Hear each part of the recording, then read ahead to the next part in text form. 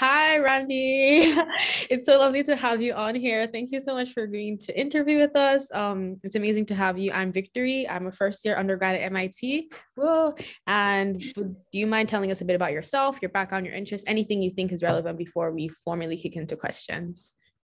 Yeah, definitely. Um, thanks for having me. Excited to be interviewed. Uh, so my name is Randi Williams. I am a fourth year PhD student. I am in the Media Lab and I work in the personal robots group.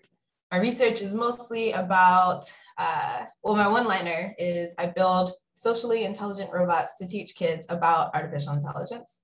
Um, there's a lot to unpack there. Um, that's like a quick version of what I do. And yeah, I don't know. I think it's amazing that we have this woman in AI group. I'm so excited to um, yeah, be a part of it. Welcome to all the women. yeah, thank you so much. I love the representation. I was also saying that Randi is our first woman of color interviewee, which is kind of exciting. So yeah, we'd love to see it. Um, so my first question for you actually is kind of about your background. I love the one liner you gave us. But before we like kick into your AI career, I did a back a bit of background research on you, kind of stalked you, don't mind me. Um, but I did see that you studied computer engineering at um, University of Maryland, Baltimore County. And then you kind of came to MIT and did media arts and sciences. So I was wondering yeah. like where did the shift come in? Like what inspired that switch? What was your eureka moment? Why did you become a media arts and science, AI, education focused kind of person. How did that happen? Yeah, um, it was a series of unexpected events, honestly. um, so even like choosing UMBC, um, actually my dream school was MIT, and I got in for undergrad. I was like, oh, it's so cool, love to be here. Um, and I think what I didn't realize was how much it would cost to go to MIT, and like they sent the bill. I was like, oh no. Oh. Um, and, uh, UMBC, the school in Maryland, I'm from Maryland, born and raised. Um, they actually have a scholarship program, money. Hmm. Um, and in particular, they have a scholarship program. It's called Meyerhoff Scholars, and it's about having more African Americans get STEM PhDs. So, A, they like, you know, support you through undergraduate, but they also prepare you to go and get a PhD after you're done. And so I have like a whole bunch of friends from undergrad who are now also in PhD programs. Um, that was incredible for a bunch of reasons. A, I didn't know what a PhD was, but I was like, I, I mean, you got money, you know, like you can do it, like you can go be a problem. Like I don't even know what that means, but you know, you guys seem pretty into it. So mm-hmm. yeah. Um, but sort of like as a part of that, um, one of the things they do is like every summer they like go and do research because you know that's how you you know that's what a PhD is about. Um, so in order to prepare for that, prepare for that, they like go and do research. And I did a research experience at MIT like after my junior year. So right before, yeah, right before I graduated. Um, and I was like such an engineer. I was like, I'm gonna be an engineer forever. I'm gonna build stuff. I went engineering schools and at MIT, they were like, so you got placed in the media lab. And I'm like, what is that? I don't do media. um, no, uh, but I didn't have a choice. Um, and then I went and fell in love with it so hard. So like what's oh Media Lab. Yeah, it's beautiful story. Um, Media Lab is a place where like scientists, designers, um, like artists and technologists all sort of like come together. And I realized that a lot of the questions that I had about life in the world um, were actually the intersections of a bunch of those things. So now I do research where I think about people, I think about how people learn, I think about um, how people interact with technology, but my computer engineering degree only really gave me the tools to like do the technology as opposed to like you know consider like how art and um, psychology and like all these other things played in. So i went there for the summer loved it and you know history yeah. from there. Here i am as a phd student. Yeah that's so cool. That's kind of crazy though. Like mit basically forced you into what you're doing now and you found out like i feel like that was like yeah.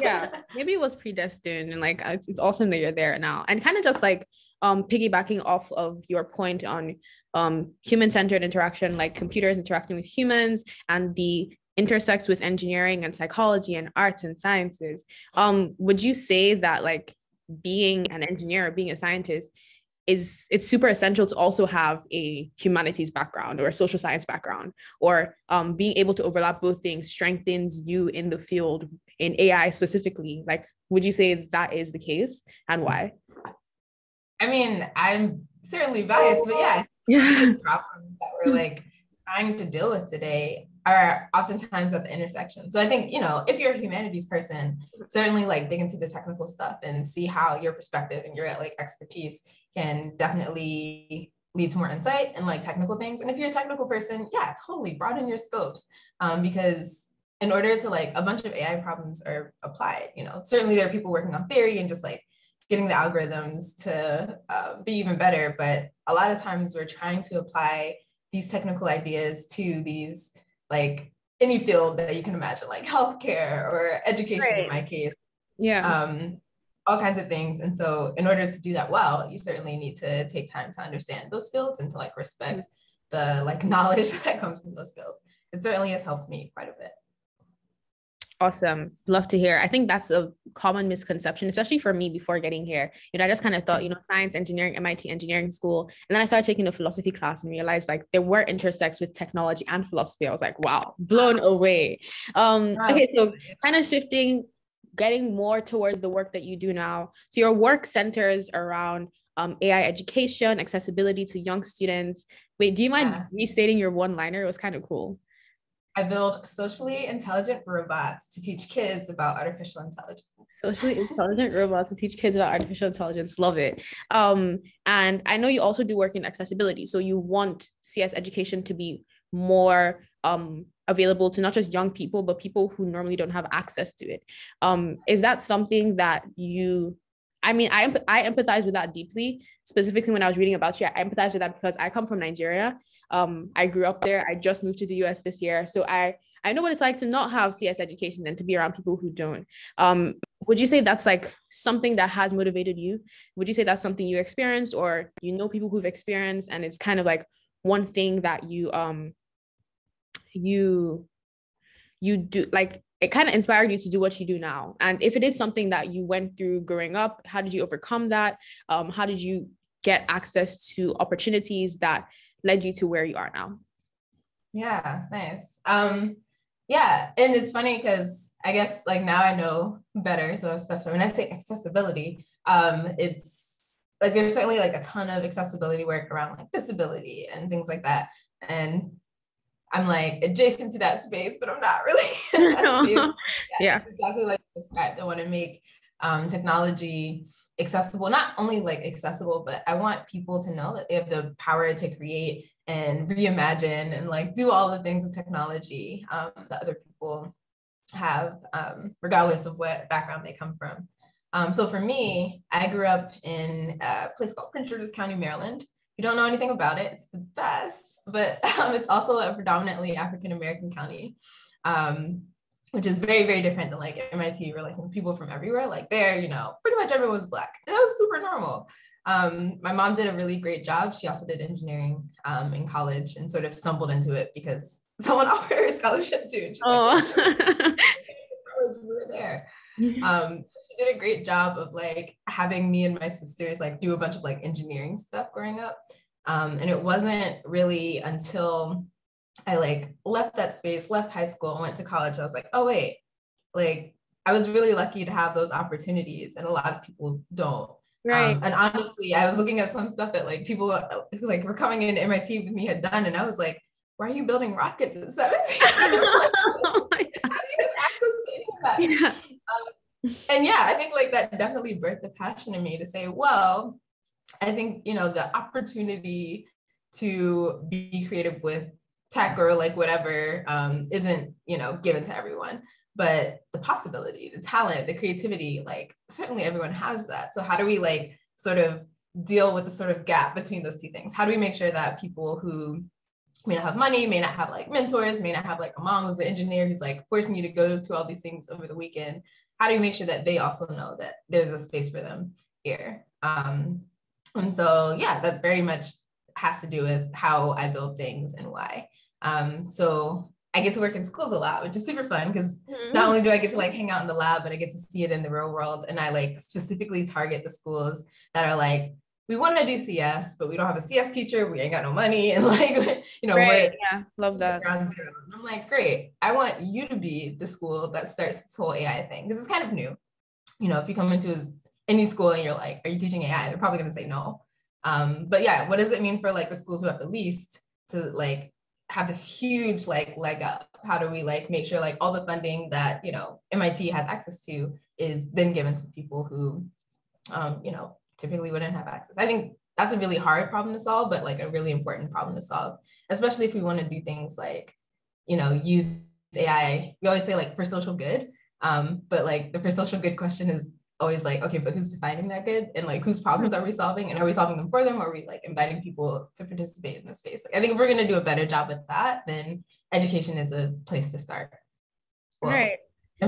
But yeah, it's like definitely one that we I mean, you said so many things I resonate with right now. I have like a bunch of things to say. I mean, like first of all, with like the building rockets at 17, I I totally relate with that because like coming here, I have like imposter syndrome has hit me so hard and i realized like there are just many opportunities that people have here that we didn't have back in nigeria or that people in maryland didn't also have and it's like amazing to see that you're bridging that gap and working to bridge that gap and using computer science and artificial intelligence to bridge that gap um and i kind of love how you talk about you know directing MIT's funding towards that, taking MIT's money to where it needs to be, you know, and getting the scholarships. Yeah. Um, and you also your response actually leads back to my next question for you um, which was about the how to train your robot program um, that you worked on the curriculum for middle school students um, i'm really interested really curious about how that came about what goes into developing such a curriculum that fits students and also why there's an emphasis on ethics. I mean like these kids are young so why are you teaching them about such hot topic discussions in ai why do you think it's important to do that? I'm really curious. Yeah. So how to train your robot, it is, it originally was a five day, like all day, all school day, five day curriculum, um, but it's about AI and ethics. It's designed for middle school students. Um, it is mostly like you don't need anything but like a computer with a browser, like a Chromebook, you know, mm-hmm. super low baseline um, to get started. Um, but it actually, there, there's a cute little robot that I just have lying around here. Oh my gosh. Um, paired with me because I think it's I don't know this the robot cost thirty dollars and I worked really hard to make sure that it was like not it, can't be like more than 50 and even 30 I was like can we not do better um, yeah. I think it's important people have like tangible experiences when they're learning about AI because it's not just something that happens on a computer it's something that can be brought into your space with you mm-hmm. but yes that's like the briefest version of how to train your robot um, and basically students learn to train image text classifiers they learn about AI ethics um, they also get to do really cool projects. Um, so how did that come about?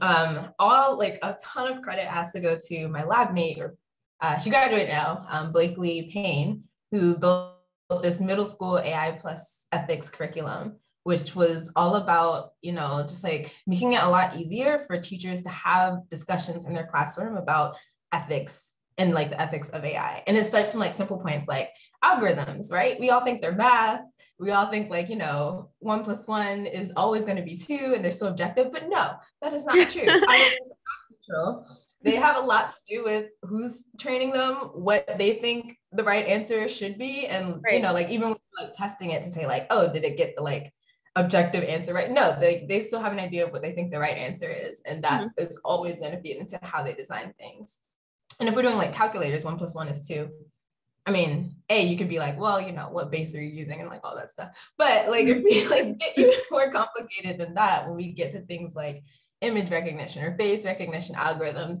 then yeah. you can really start the impacts of those systems like much more. Um, so we talk about in the curriculum things like Joy Buolamwini's work, where she was like, yeah, these algorithms have 99% accuracy. If you are a pale skinned male appearing person, like right. if you have dark skin, and if you're a woman, like appearing person, then like, yeah, maybe 66% accuracy. And like the gap, like the reason why that gap exists is just because the person designing it didn't think it was a problem. Like that wasn't the problem they were trying to solve. They were like, this just works for everyone, but their idea of everyone was flawed. Yeah. Um, so why do we teach middle schoolers that? Um, two things. A, I think it's super duper important that like as these technologies come out into the world, like everyone's using like Snapchat filters and like using YouTube, YouTube recommending them things. Like these algorithms are everywhere. Yeah. Um, I think it's for people to understand like how they work and not just be like, oh, like obviously if the if my phone, if my computer, if my Alexa tells me something, it's right. Um, I don't think that's gonna work.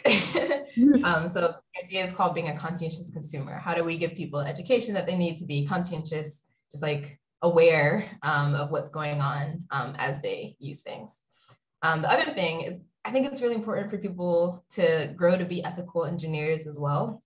So, like reflecting on my engineering undergrad degree, I took like one ethics course, and I love the teacher. All respect to them, but we talked about like you know, like the Challenger like shuttle like explosion and all the things that went wrong with that. And like, yeah, that's important. But then we'd go back and like build an operating system or like do some like embedded thing. And the two ideas were just like never connected. And I think that's a huge disservice to engineers. Like if you like are learning all of this math stuff, you're learning how to build stuff, you're learning how to have an impact on the world, but you never learn that like there's nuance there and that like there's ways for you to not build systems that are like racist and sexist, mm-hmm. then yeah, we're sort of uh, letting people down. Um, and so as I'm teaching these middle schoolers, some of whom have never programmed before, how to train their own algorithms, I'm like, and here are some considerations that you might want to take um, as you're building it, because like there are important ethics questions here, and just like giving them the power and the skills to like be able to like do that well, like upfront, like as they're learning the technical thing, they're also learning the ethical thing. I just think that makes them like better engineers in the future. Yeah. Mm-hmm. Yeah. Very much like kind of a political statement. I'm like raging against how I was taught. I'm like, we gotta do better. like 12 year olds, what's your excuse? Yeah. Yeah. I mean, I, I feel like that's kind of fair because I think like when we go through things, we don't want other people to go through them. And that's like kind of what makes us human, like good humans. Um, and I love the term conscientious consumers. I haven't heard that before, so I just learned something new. Um, and the fact that like you're building up with everything. I mean, it's it's kind of it's like the thing about a lot of educational systems or like what I've experienced is like you learn something and then you leave out something and then you go to like college and then you realize that there was something left and you have to like fuse those back together. And that kind of like uh-huh. messes it up because it's not that easy to to like dismantle everything you've learned and then put something back in. But then when you're building it together it makes a lot more sense. That was kind of abstract but i know like i'm like a thousand percent like i'm doing this work backwards and i'm like why didn't they just teach me this the first yeah exactly. And that's what you're doing. I mean now you're fixing that. You're fixing the problem and you're building curriculum that is like important. Um and also like also about another project you did. So that was more about like the ethics and the education kind of side. Um i'm also kind of a big fan of your um pop blocks project because i have a seven year old brother. I have a seven year old brother and he likes scratch and i did not know there was something similar that could teach him about ai and artificial intelligence because like he knows the term ai but he doesn't really know what it is you know? Like so i'm also interested in what what went into like the design thinking process the ideation yeah. the system design you know more like nuances more specific details about like why you built that project how building it up came about and um how you've seen students interact with it that has kind of made you happy or proud of the work that you're doing. Yeah. Um oh i love that question. Um so uh pop blocks and PopBots that was a project that i did where i, I used a social robot to teach like pre-K and kindergarten children about artificial intelligence. Um, and it used like Scratch like blocks. If you've seen Scratch, like block-based programming, use those, except my kids could not read. So it just had images. And so it was like very interesting to think about, you know, how do you make these ideas accessible to super young kids? Mm-hmm. Um, and it started kind of like, you know, your story with your brother. Um, so basically my robot, we're a social robotics group. So we have a bunch of robots. They're super cute. Um, go look up Tega, go look at Jibo. They're just the best. Mm-hmm. Um, and we would use them for literacy, so helping um, like younger kids, five year olds, like learn how to read. Mm-hmm. It's because like you know in Boston, there's a ton of people who come from uh, like other countries or like just don't speak English at home for whatever reason. We dump all these kids into kindergarten and we're like, all right, we're gonna learn our ABCs. And some kids, you know, they're having like story time at night with their parents every night, and then other kids just don't. And it's just like huge difference in like ability, and they all just are in the same classroom, like struggling. So the robot helps with that. Um, and what I noticed was like a lot of kids were interacting with the robot in like these really weird ways. We're like, okay, this is how you talk to the robot. And they're like, I got this. I have an Alexa at home. Hey, Tega, what's Oh my god. Oh my god. and like it's hilarious, but also like that's a huge, totally different like relationship with technology than we have.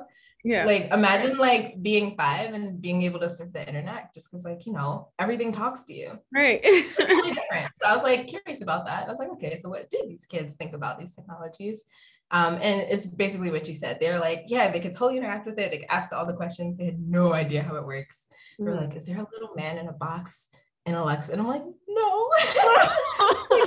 and then there's like one kid who's like, well, I have like a black Alexa at home, but this is a white Alexa, so I have to get to know her. And I'm like, how do I explain the cloud to this four-year-old? like, how do I like, like it's the same device? It was a lot. Um, and so I was like, okay, how could we use this technology that already works really well for students, social robots, and make these things more accessible? Um, because the thing is, four-year-olds they cannot read. They also don't know that much about math. So I was like, obviously, we're not gonna like, you know, have algorithm like right. not gonna like, you know, write stuff out on the board with like all the equations and stuff. Um, but humans are very social. And if what my theory was, if you can have an algorithm and have it explain itself socially, then it would be really easy for students to understand. So, great example supervised machine learning um, is when you like, you know, you label stuff and then it uses uh, some process to figure out uh, where to put like a dividing line to classify things. So I had kids do supervised machine learning on foods and what this robot as the system whatever robot knew about the foods was like how many calories it was what color it was how it was spelled um, how much sugar it had stuff like that um, so it could do this k nearest neighbors algorithm like it knew that like broccoli was more similar to um, corn than like ice cream, stuff like that. So kids would, you know, label a few. They're like broccoli, healthy, ice cream, unhealthy. Um, and then ask the system, okay, what do you think about carrots? And the robot would say, okay, carrots. Carrots are a lot like broccoli. So I'm going to say carrots are also healthy. Um, and you'd be like, cool, whoa, okay, what do you think about potato chips? And it's like potato chips. Potato chips are kind of like broccoli too. So is that also healthy? and then the kid could like fix it and be like no that's unhealthy and it's like okay yeah. thanks for teaching me like let's go on to the next so same algorithm but rather than like throwing math at the kids just making it like more transparent and then just giving them the freedom to train it exactly how they want. So i think my favorite experiences were having those super mischievous kids that were like i'm going to make this robot think that all the foods that i like are healthy and then oh, that's so cute.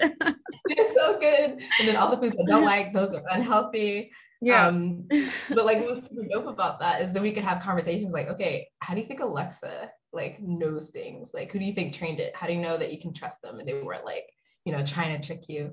Mm-hmm. And like just watching like a five-year-old go like, I can't trust Alexa that much anymore. I have to figure out how she was trained. Oh my gosh, that's so cute. that's so much. I love that. Yeah. um, so yeah, a that was like also an experiment to say, can we teach super young people about AI. And again, the argument being like, if we can teach a four year old, we can teach anyone. So people yeah. can stop telling me they're like not computer science people. I'm like, look, I taught a four year old, you mm-hmm. can learn too. Um, but also like, you know, looking at like how the robot should express itself, how the robot should, you know, just give space to be trained as well as um, like what level of intelligence it needed. Um, those are the kinds of questions I was playing with. It's very much like an engineering project, but also felt like a lot of art and like a lot of design was a part of it as well. Just like back and forth with the students. Yeah, it was fun.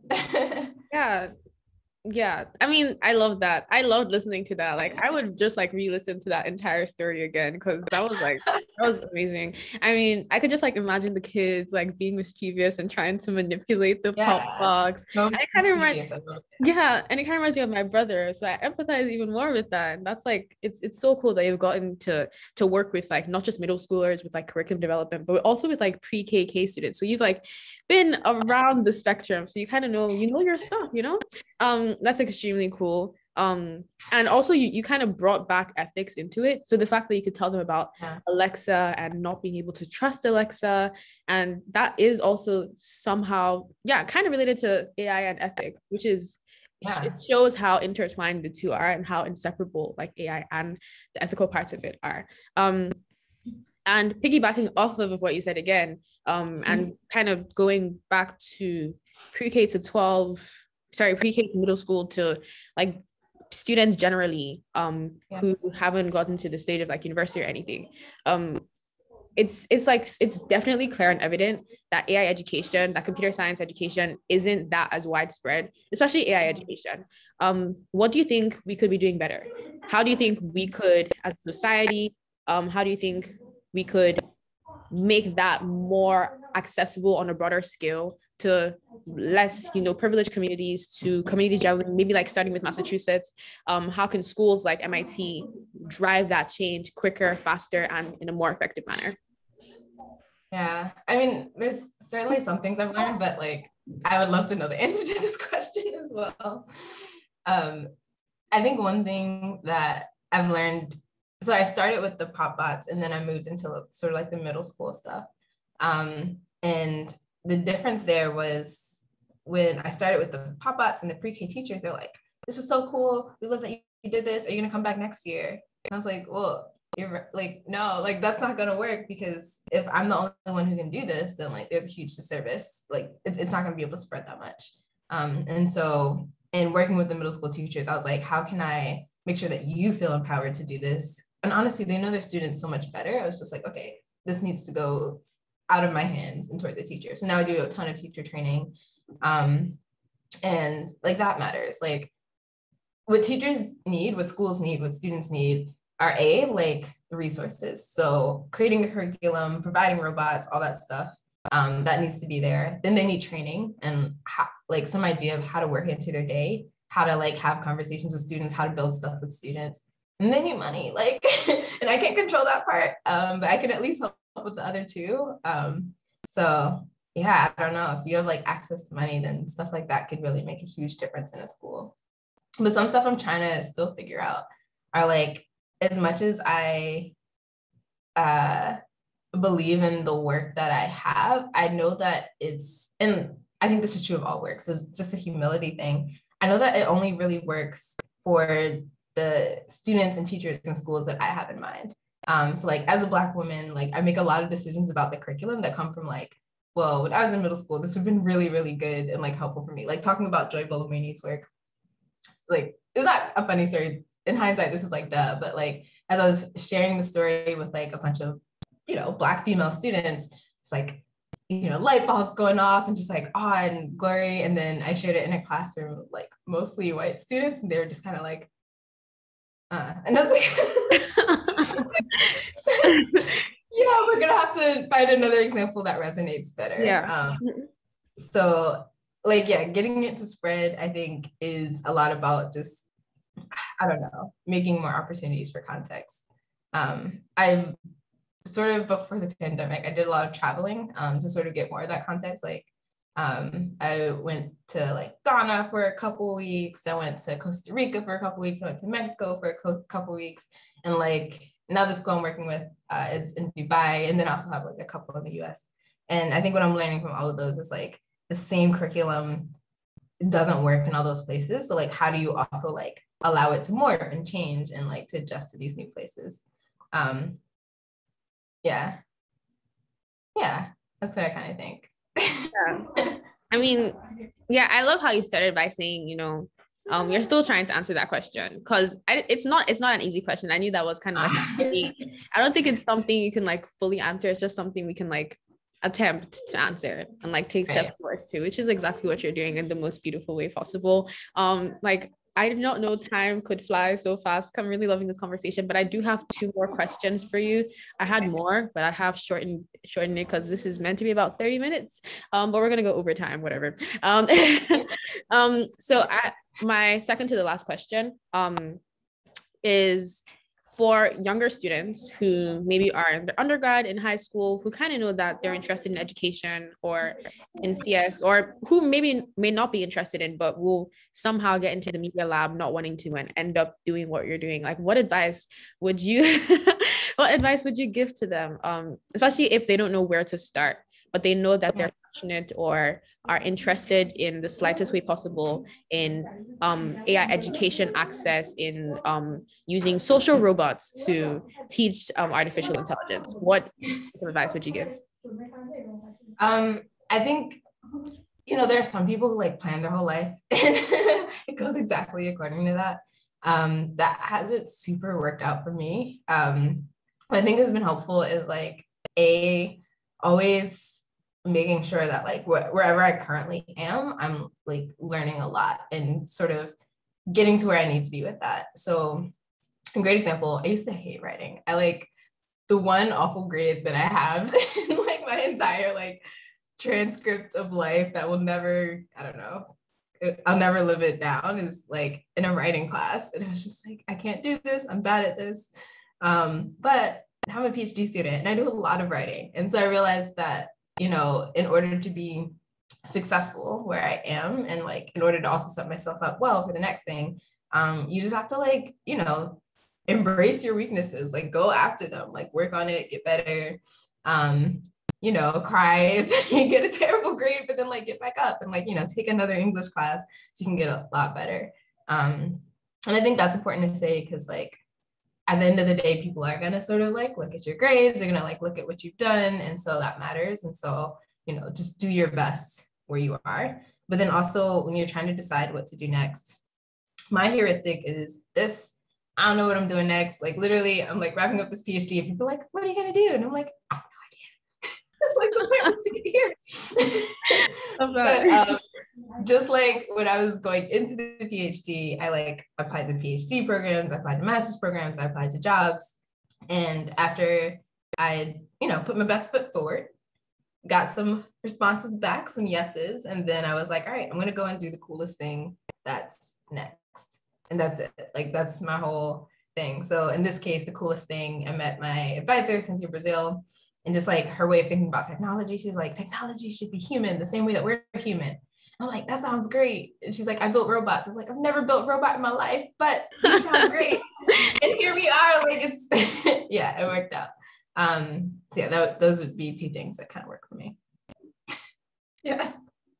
Yeah, that's like that's very, very cool. I mean, um, I love your entire experience. I love like how you share your experiences and how like authentic you are with like talking about them.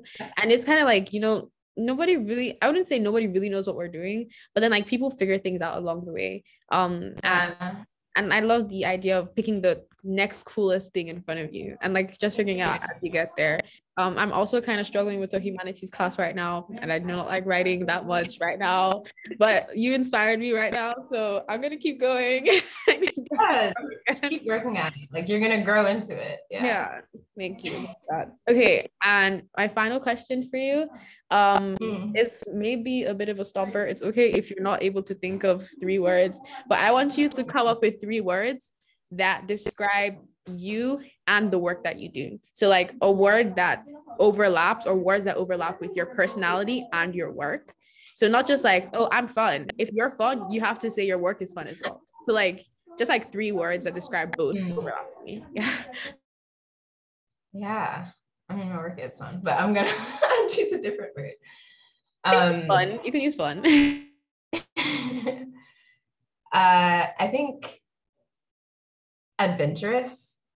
Uh, I just went for a skate because I like to learn new things, and I'm like, this is my new thing. And then also with my work, I'm like, no one's ever tried this. Let's go for it. So adventurous. Um,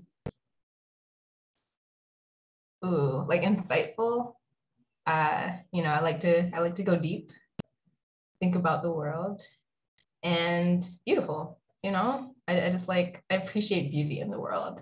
Um, yeah. yeah, I think those were fantastic. I mean, okay, so adventurous, insightful, and beautiful. Beautiful. Yeah, yeah. That's I mean, like I feel like that does describe your personality, and I feel like that also describes the work that you do. So you did a great job and in record time.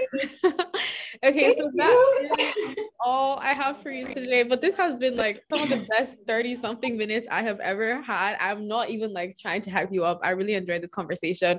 A lot more than I expected to.